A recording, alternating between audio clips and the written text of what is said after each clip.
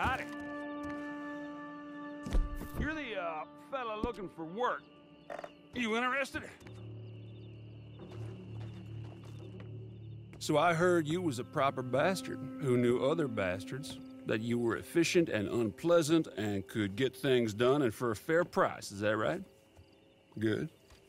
Good.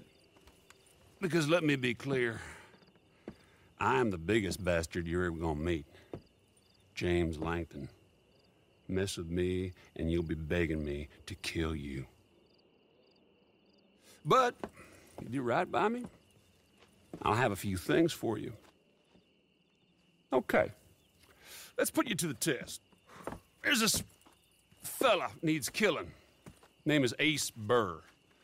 Uh, his crime, well, his crime is my business. If you care, he killed a rich man in a card game down Saint Denis last month, fled up here. Usual nonsense. But I've been paid to kill him, so I'm paying you to do it for me. If you care. But I'm hoping you're the kind of realist that knows you cannot afford to care. Because those are the kind of people that get things done in this world.